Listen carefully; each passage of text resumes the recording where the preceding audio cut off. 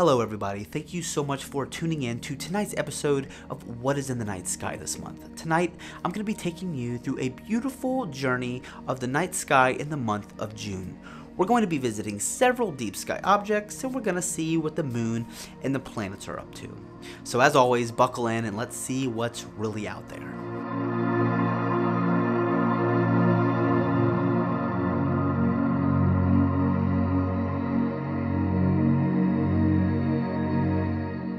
First off, we're going to stay in our local neighborhood and we're going to see what the moon and the planets are up to this month. We are heavily dedicating this portion of what's in the night sky to Venus and Mars. The other five planets can be seen early in the morning just before or after twilight. But tonight, we're going to be focusing on Venus and Mars, our two closest neighbors. Last December, we were able to see every planet in the evening sky, but now we're left with two Venus and Mars. Fortunately, these planets will put on quite the show for binocular observers as they both pass through the Beehive cluster this month. Venus starts June in Gemini, but joins Mars in Cancer on the 3rd.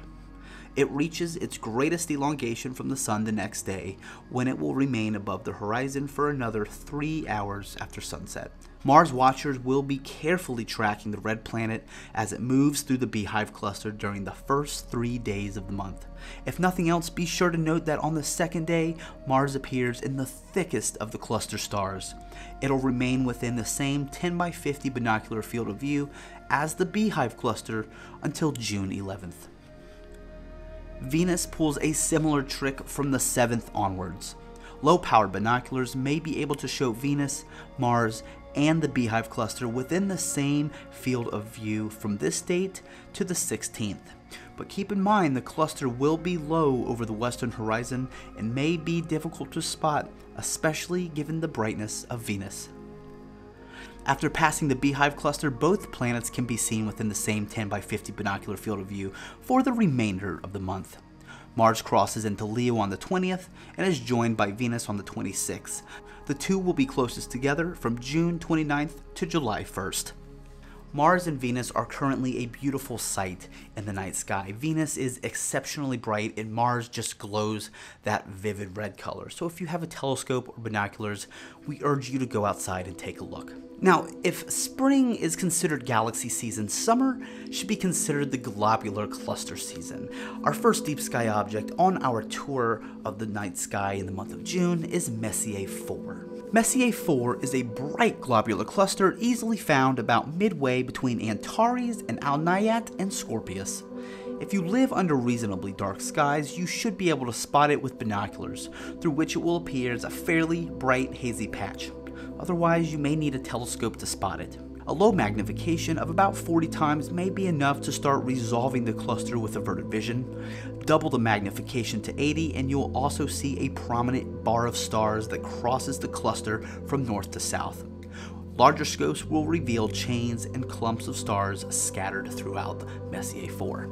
As we go through this list, we are going to visit a few other globular clusters, but keep in mind, visually speaking, when viewing these, the larger the scope, the more spectacular that these will be through your eyepiece. A 4 inch refractor may present these as a pretty cool sight, but a large 14 or 16 inch Dobsonian makes these kinds of views simply unforgettable. The next deep sky object on our list is Messier 5, another fantastic globular cluster. In fact, one of the best globular clusters in the night sky, Messier 5 can be found southwest of Alpha Serpentis and Unukalhai.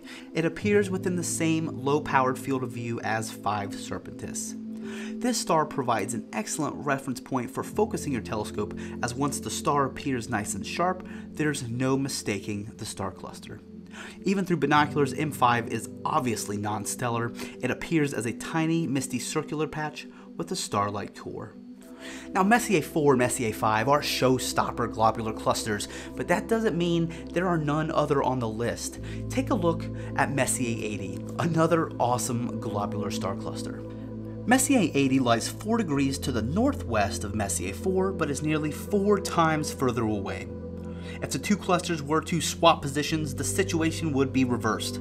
Messier 80 would look slightly brighter than M4 is now, and M4 would appear roughly the same brightness as Messier 80. M80 lies within the same 10 by 50 binocular field of view as Antares, Alniyat, and M4, and while it's detectable in binoculars, it really is best suited for telescopic observations with larger equipment. Now the next deep sky object on our list is not a globular cluster this time, nor is it really a deep sky object, but rather a double star, Beta Scorpii. Otherwise known as Graffias, it is an attractive multiple star that almost anyone can enjoy, especially those with a telescope. Binoculars will show a white star with a fainter white companion, but a telescope will reveal a third star. With a low magnification of about 25 times, you'll be able to split the brighter star into two. Now we arrive at our last object on our tour of the night sky in the month of June. It is in fact another double star. You may have heard of this one. It goes by the name of Izar. This multiple star can be a challenge for beginners and owners of small scopes as the two components are separated by only 2.9 arc seconds. The primary is a brilliant golden star while the secondary typically appears blue-green, although some have even reported a purple hue.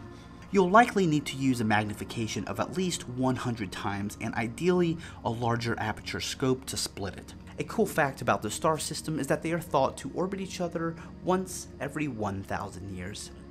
Alright, well that is our tour of the night sky in the month of June. We thank you so much for tuning in. If you have any comments or questions, let us know below. And if you've viewed any of these objects, maybe you've viewed them through a large telescope, a small telescope, or even had the chance to photograph them, please let us know. We love to hear your stories.